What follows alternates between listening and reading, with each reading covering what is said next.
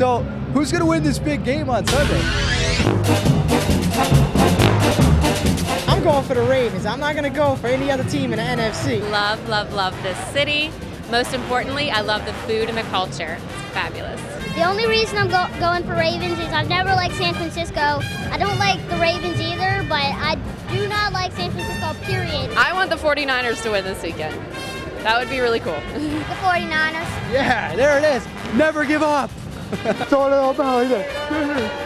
I got the Baltimore Ravens. The Baltimore Ravens because I think Ray Rice and, and Ray Lewis are going to go and get, take care of it. 49ers, of course. Why do you think so?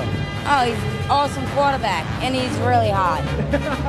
Definitely Baltimore. You gotta love the Ravens. Lewis, he, he deserves that. He cries every time the anthem comes on. I do not feel like going with San Francisco because I never went for them. I'm not going to ever. Who that? Who that said they're going to beat them Saints? The Ravens. Baltimore Ravens. I want to see uh, Ray Lewis leave, re- retire with a win. 49ers.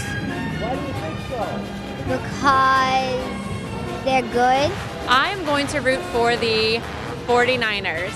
I love California and I think they're awesome. Who dat? Who dat? Who that?